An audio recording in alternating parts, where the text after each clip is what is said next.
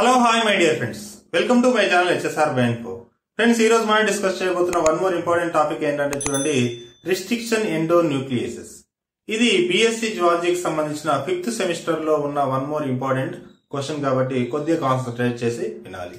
యాక్చువల్గా ఫిఫ్త్ సెమిస్టర్లో రెండు పేపర్స్ ఉంటాయి. పార్ట్ వన్ పార్ట్ టూ గా ఉంటుంది. పేపర్ వన్ పేపర్ టూ గా ఉంటుంది.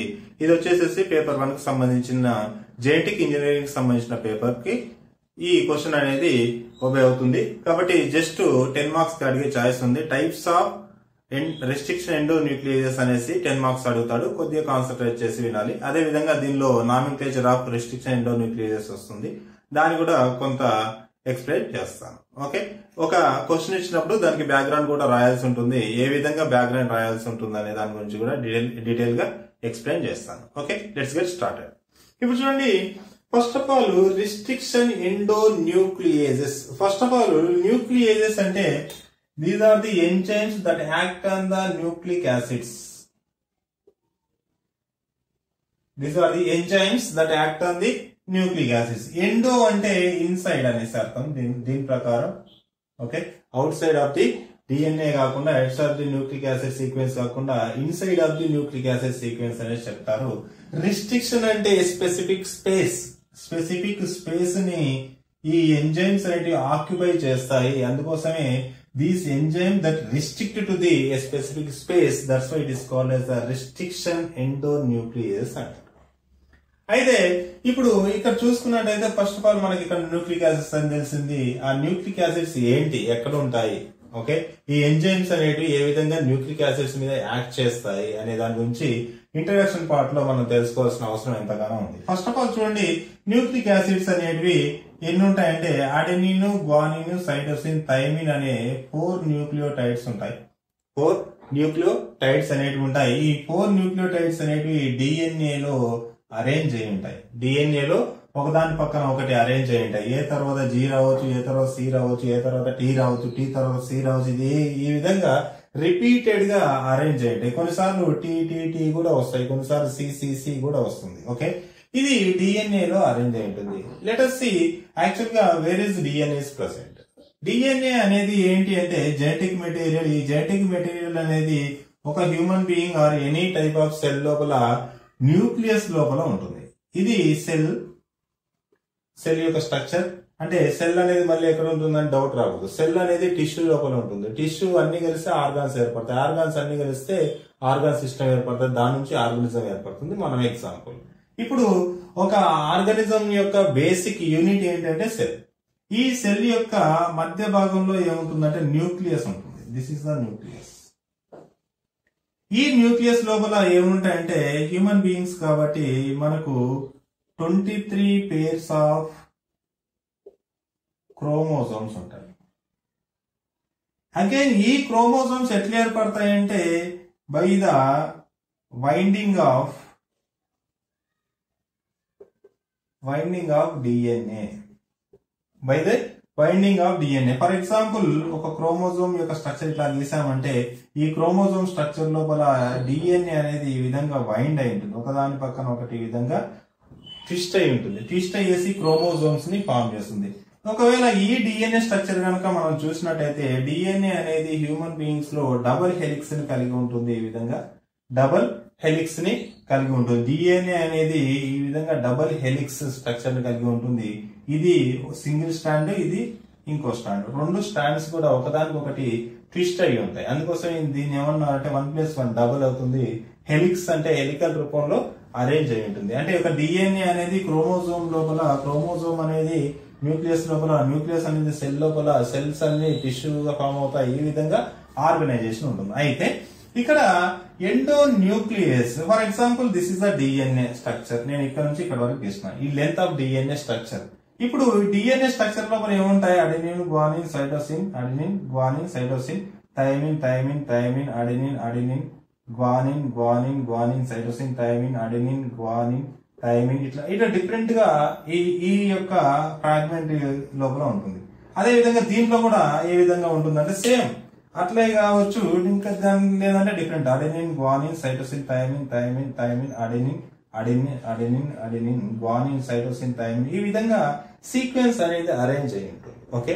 ఇప్పుడు విషయం ఏంటి అంటే ఈ యొక్క డిఎన్ఏ ఫ్రాగ్మెంట్ లోపల ఇక్కడ నేను గీసిన డిఎన్ఏ ఫ్రాగ్మెంట్స్ లోపల రెండు సైట్లు మనం ఐడెంటిఫై చేయాలి. అవుట్ సైడ్ ఉండే ఈ రీజన్ ఈ రీజన్ అవుట్ సైడ్ ఒక ఒక ఫ్రాగ్మెంట్ ఏముందంటే ఇది ఈ రెండు ఎండింగ్స్ని అవుట్ సైడ్ రీజన్స్ అంటారు. ఎగ్జో సైట్స్ అంటారు.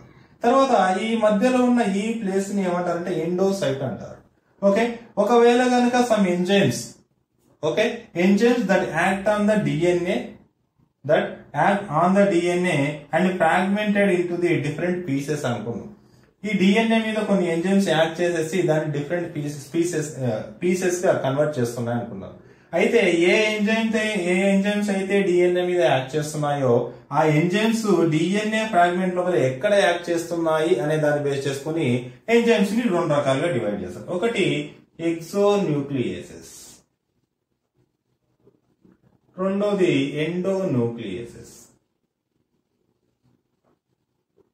ఎక్సో ఎండో న్యూక్లియస్ ఒకవేళ గనక ఈ ఎక్సో అనే enzymes that act on the DNA sequence ఆ డిఎన్ఏ సీక్వెన్స్ మీద యాక్ట్ చేయడం వల్ల డిఎన్ఏ ని బ్రేక్ చేస్తున్నాయి. ఆ బ్రేకేజ్ అనేది డిఎన్ఏ సీక్వెన్స్ యొక్క ఫ్రాగ్మెంట్ యొక్క ఎండింగ్లో జరిగి ఈ విధంగా ఫర్ ఎగ్జాంపుల్ మనం యాక్చువల్ టిస్ట్ చేస్తున్నాను కమింగ్ ఎండ్ కోసం ఇట్లా గీస్తాను. ఇప్పుడు డిఎన్ఏ ఎండింగ్ లోపల ఇక్కడ గాని ఇక్కడ గాని రెండు ఫ్రాగ్మెంట్ ఉంటాయి కాబట్టి ఇలా గీస్తాను. ఇక్కడ గాని ఇక్కడ గాని గీయడం వల్ల ఇక్కడ నుంచి ఇక్కడికి ఒక ఫ్రాగ్మెంట్ ఏర్పడుతుంది తర్వాత ఇదొక ఫ్రాగ్మెంట్ ఇదొక ఫ్రాగ్మెంట్ మూడు ఫ్రాగ్మెంట్స్ ఏర్పడతాయి.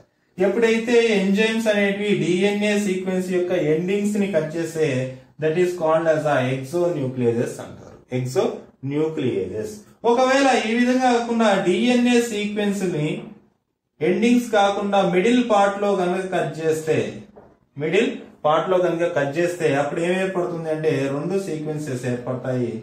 ఈ విధంగా రెండు పెద్ద ఫ్రాగ్మెంట్స్ ఏర్పడతాయి. ఇక్కడ నుంచి ఇదొకటి ఇక్కడ నుంచి ఇదొకటి. రెండు ఏర్పడుతున్నాయి. ఇలాంటి క్లీవేజ్ చేసే ఎంజైమ్స్ ఏమన్నారంటే ఎండో న్యూక్లియస్ అంటున్నారు. అంటే ఎంజైమ్స్ అనేటివి రెండు రకాలుగా ఉన్నాయి. డిఎన్ఏ మీద యాక్ట్ చేసే enzymes exonuclease endo nucleus endo nucleus అనేటివి మిడిల్లో కట్ చేస్తున్నాయి. ఇప్పుడు మనం చదివేది ఏంటంటే రెస్ట్రిక్షన్ ఎండో న్యూక్లియస్ ఎండో న్యూక్లియస్కి సంబంధించిన ఎంజైమ్స్ అన్ని కూడా ఒక స్పెసిఫిక్ పార్ట్ లోపల డిఎన్ఏ యొక్క ఫ్రాగ్మెంట్ యొక్క మిడిల్ పార్ట్ లోపల కొద్ది స్పెసిఫిక్ సీక్వెన్స్ ఉంటుంది. ఆ సీక్వెన్స్కి మాత్రమే బైండ్ అవుతాయి. అలా బైండ్ అయ్యేసి మిడిల్లో మాత్రమే క్లీవ్ చేస్తుంటే దాన్ని ఏమంటున్నారంటే రిస్ట్రిక్టెడ్ ఎండో న్యూక్లియస్ అంటున్నారు. ఇది యాక్చువల్గా బేసిక్ ఇన్ఫర్మేషన్. ఇప్పుడు ఈ రిస్ట్రిక్షన్ ఎండో న్యూక్లియస్ ఎక్కడ ఉంటాయి బేసిక్గా ఎక్కడ ఉంటాయి? ఏ విధంగా? డిఎన్ఏ మీద యాక్ట్ చేస్తున్నట్టు ఎప్పుడు ఐడెంటిఫై చేశారు? ఏ విధంగా జరిగింది అనే దాని గురించి కొంత హిస్టరీ ఉంటుంది? ఆ హిస్టరీ గురించి ఒకసారి చూద్దాం. ఇదంతా కూడా basic information at least two three four points రాయాలి ఖచ్చితంగా. అలా రాసినప్పుడే మనకు లాంగ్ క్వశ్చన్ అనేది వస్తుంది. ఎందుకంటే restriction types of restriction enzymes అనేది చిన్నగా ఉంటుంది. ఫైవ్ మార్క్స్ సరిపోయేంత. కానీ దాన్ని టెన్ మార్క్స్ రాయాలంటే ఇదంతా బ్యాక్గ్రౌండ్ రాసుకుంటూ రావాలి. అందుకోసమే టెన్ మార్క్స్ క్వశ్చన్ కాబట్టి ఈ డీటెయిల్స్ అన్ని చెప్తున్నాను. ఇప్పుడు చూడండి రిస్ట్రిక్షన్ ఎంజైమ్స్ యొక్క ఆరిజిన్ ఎక్కడ? ఎక్కడ ఇవి రిస్ట్రిక్షన్ ఎంజైమ్స్ అనేవి లభిస్తాయి? బేసిక్ థింగ్ ఏంటంటే రిస్ట్రిక్షన్ ఎంజైమ్స్ అనేవి బ్యాక్టీరియా లోపల ఉంటాయి. హ్యూమన్ సెల్స్ లోపల ఇట్లాంటివన్నీ ఉండవు. రిస్ట్రిక్షన్ ఎంజైమ్స్ అనేవి బ్యాక్టీరియా లోపల ఉంటాయి. బ్యాక్టీరియా లోపల ఫర్ ఎగ్జాంపుల్ ఈ బ్యాక్టీరియా లోపల ఇవి రిస్ట్రిక్షన్ ఎంజైమ్స్ అనుకుంటాం ఇవి ఇవి రిస్ట్రిక్షన్ ఎంజైమ్స్ అదే విధంగా బ్యాక్టీరియా లోపల బ్యాక్టీరియా డిఎన్ఏ కూడా ఉంటుంది. బ్యాక్టీరియా డిఎన్ఏ ఉంటుంది. Okay? This is restriction enzymes RE ఇప్పుడు ఏంటంటే కొన్నిసార్లు ఏమవుతుంది అంటే బ్యాక్టీరియాస్ని వైరసెస్ అనేటివి అటాక్ చేస్తాయి. బ్యాక్టీరియాస్ని అటాక్ చేసే వైరసెస్ని ఏమంటారంటే బ్యాక్టీరియో ఫేజెస్ అంటారు. ఫర్ ఎగ్జాంపుల్ ఒక వైరస్ అనేది ఈ విధంగా ఉండి ఈ విధంగా అటాక్ చేసింది అనుకుందాం వైరస్లో ఉన్న డిఎన్ఏ ఎప్పుడైతే దీంట్లోకి బ్యాక్టీరియాలోకి వస్తుందో వైరస్ నుండి వచ్చిన డిఎన్ఏ మీద ఉండే ఒక స్పెసిఫిక్ సీక్వెన్స్ని ఒక స్పెసిఫిక్ సీక్వెన్స్ ఏదైతే ఉంటుందో ఆ స్పెసిఫిక్ సీక్వెన్స్ని ఈ యొక్క ఎంజైమ్స్ని ఐడెంటిఫై చేస్తాయి.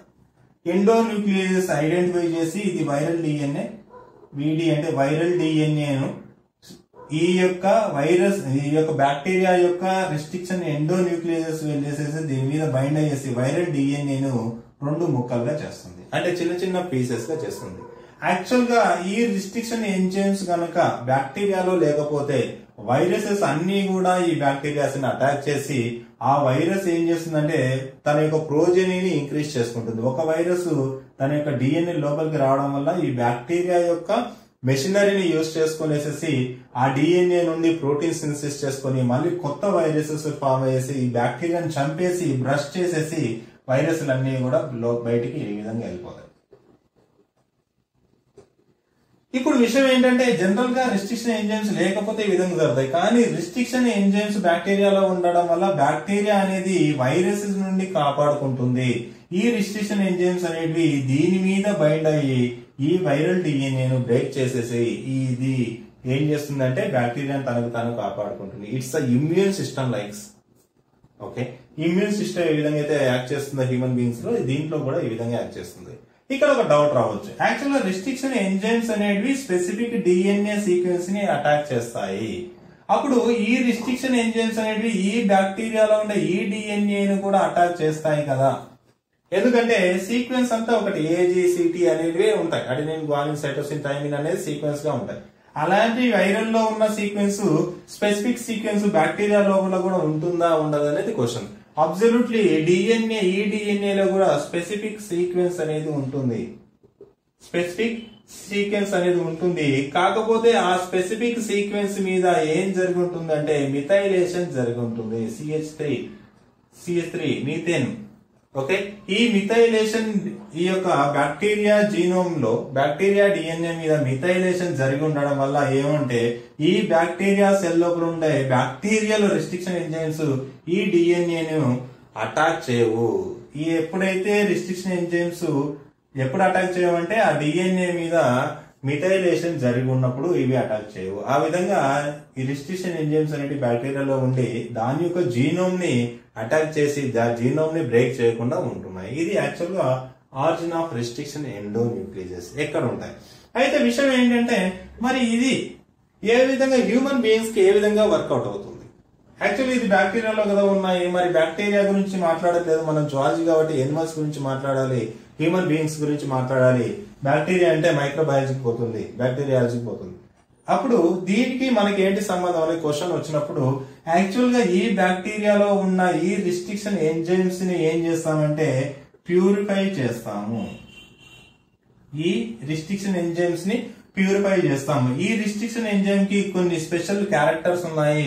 ఈ restriction enzymes that binds with specific site of DNA అది ఏ డిఎన్ఏ అయినా కాదు. బ్యాక్టీరియా డిఎన్ఏ కావచ్చు వైరల్ డిఎన్ఏ కావచ్చు ఫంగల్ డిఎన్ఏ కావచ్చు హ్యూమన్ డిఎన్స్ డిఎన్ఏ ఏదైనా కావచ్చు. దానికి ఉన్న ప్రాపర్టీని బేస్ చేసుకుని అది బైండ్ అవుతుంది. బైండ్ అయ్యేసి అక్కడ బ్రేక్ చేస్తుంది.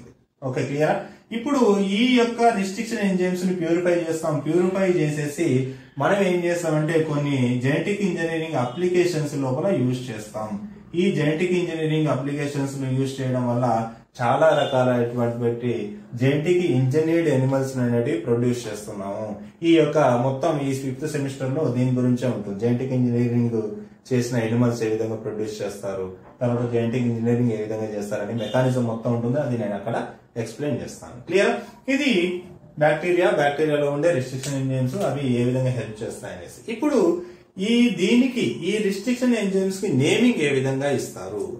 Nomenclature of restriction endonucleases okay ఒకసారి చూడండి. ఇప్పుడు జనరల్గా రిస్ట్రిక్షన్ ఎంజైమ్స్ నేమింగ్ ఏ విధంగా ఇస్తారంటే చూడండి.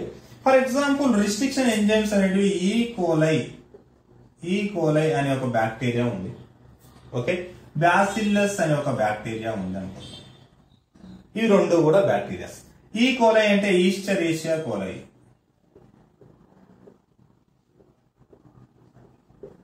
Escherichia coli. Escherichia coli. Bacillus అంటే బ్యాసిలస్ ఓకే ఇప్పుడు విషయం ఏంటంటే ఈ ఈ కోలై అనే ఒక బ్యాక్టీరియా లోపల రెస్ట్రిక్షన్ ఎంజైమ్స్ ఉన్నాయి. ఓకే ఇప్పుడు ఏం చేస్తారంటే ఈస్టరీషియా కోలై.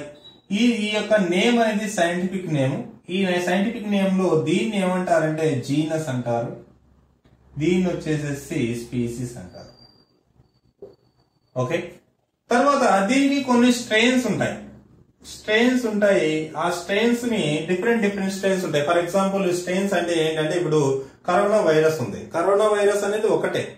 ఓకే? ఈ కరోనా వైరస్ అనేది డిఫరెంట్ మాడిఫికేషన్ చెందడం వల్ల డిఫరెంట్ యొక్క ఫంక్షన్ అనేది చూపిస్తుంది. దాని యొక్క పాథోజెనిసిటీని డిసీజ్ కాజింగ్ చేసే ఎబిలిటీని ఇంక్రీజ్ చేసుకుంటూ పోతుంటుంది. డ్యూ టు ది ఏంటి అంటే దాని యొక్క జీనోమ్లో చేంజెస్ జరగడం వల్ల. అంటే ఒక జీనోమ్కి దా- అదే కరోనా వైరస్లో ఉన్న ఇంకో జీనోమ్కి కొంత స్లైట్ డిఫరెన్స్ అవడం వల్ల అదొక స్ట్రెయిన్ అవుతుంది ఇదొక స్ట్రెయిన్ అవుతుంది. స్ట్రెయిన్ అంటే two different kinds of similar animals అది బ్యాక్టీరియా కావచ్చు వైరస్ కావచ్చు. ఇక్కడ ఈస్టరీసియా కొలే జీనస్ స్పీసీస్ ఇది ఏంటంటే ఒక స్ట్రెయిన్ అనుకుందాం.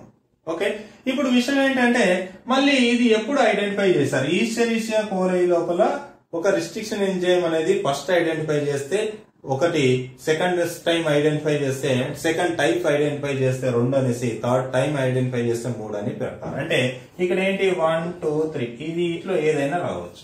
ఇప్పుడు చూడండి ఫర్ ఎగ్జాంపుల్ ఏం చేస్తారంటే నేమింగ్ ఇచ్చేటప్పుడు ఈస్టరిషియా కోరేలో జీనస్లో ఉన్న first letter capital first letter క్యాపిటల్గా ఉంటుంది. తర్వాత స్పీసీస్లో ఉన్న ఫస్ట్ లెటరు ఈ విధంగా ఫస్ట్ టూ లెటర్స్ తీసుకుంటారు. ఫస్ట్ టూ లెటర్స్ జీనస్లో ఉన్న ఫస్ట్ లెటర్ ఈ స్పీసీస్లో ఉన్న టూ లెటర్స్ సిఓ తీసుకుంటారు. తర్వాత దీని యొక్క స్ట్రెయిన్ ఈ స్ట్రెయిన్ లోపల ఫస్ట్ లెటర్ తీసుకుంటారు ఈకో ఆర్ ఎప్పుడు ఐడెంటిఫై చేశారంటే Eco R one first identify చేస్తే ఈకో ఆర్ వన్ అనేసి సెకండ్ ఐడెంటిఫై చేస్తే ఈకో ఆర్ టూ అనేసి థర్డ్ ఐడెంటిఫై చేస్తే ఈకో ఆర్ త్రీ అనేసి ఈ విధంగా నేమ్స్ అనేటివి ఇస్తారు. దిస్ ఇస్ అ నామిన్ ఓకే ఇప్పుడు చూడండి ఈ తర్వాత ఇది ఒక ఎగ్జాంపుల్ తర్వాత బ్యాసిలస్లో ఉండేదానికి ఎగ్జాంపుల్ ఏంటంటే Bam H one Bam H one okay మరి దీంట్లో ఏంటి? బి అంటే ఏంటంటే యాజ్ పర్ జీనస్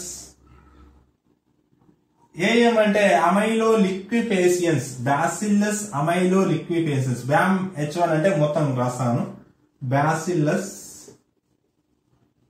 అమైలో లిక్విఫేసియన్స్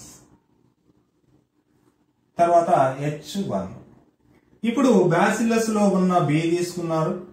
ఏ అమైలో లిక్విఫేస్లో ఉన్న ఏఎం తీసుకున్నారు. హెచ్ అనేది స్ట్రెయిన్. ఫస్ట్ ఐడెంటిఫై చేసినారు కాబట్టి ఇది బ్యామ్ హెచ్ వన్ ఈ విధంగా నామిన్ క్లేచర్ అనేది ఇస్తారు. బ్యాసిల్లస్ అమైలో లిక్విఫేసియస్ ఇంకా అన్నిటి కూడా ఇట్లే ఉన్నాయి. ఇండు త్రీ అనేసేసి తర్వాత ఈకో ఆర్ వన్ అనేసేసి ఈకో ఆర్ వన్ కే అనేసేసి ఈకో కే అనేసి ఈకో పి అనేసి ఇట్లా different kinds of restriction enzymes అనేటివి ఉన్నాయి. ఓకే ఇప్పటివరకు ఒక four hundred types of restriction ఎంజైమ్స్ని characterise చేసినారు ఓకే ఎంజైమ్స్ నథింగ్ బట్ ఇక్కడ ఏంటి గుర్తుపెట్టుకోవాలి? ప్రోటీన్స్ ప్రోటీన్స్ అంటే ఏముంటుంది? అమైన్ యాసిడ్ సీక్వెన్స్ ఉంటుంది. ఇది ఈ విధంగా గుర్తుపెట్టుకోవాలి. క్లియర్ ఇది ఏంటి అంటే రిస్ట్రిక్షన్ ఎండోన్యూక్లియస్లో నామిన్